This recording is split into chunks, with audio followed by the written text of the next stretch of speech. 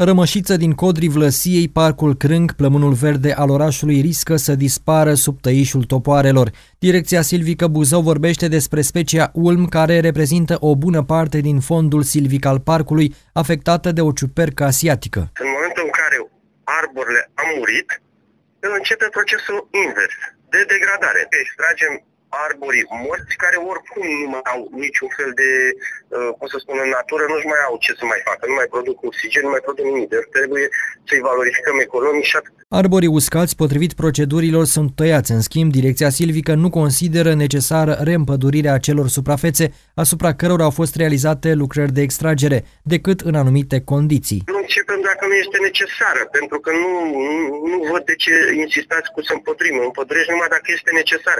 Dacă s-ar face o lucrare silviculturală unde extrage tot, tot arboretul. V-am spus, el punctual sunt anumite ochiuri unde, dar în zonele respective există semințiși. După extragerea asta se va face în primăvară un, din nou un control anual. Vom face în primăvară ce vor face lucrări de împădurire dacă sunt absolut necesare. Buzoienii sunt de părere că în locul arborilor uscați, direcția silvică ar trebui să reîmpădurească. Face, dacă se face defrișare acolo ce uscați și rămâne cei verdi, foarte bine. Să pună și în loc.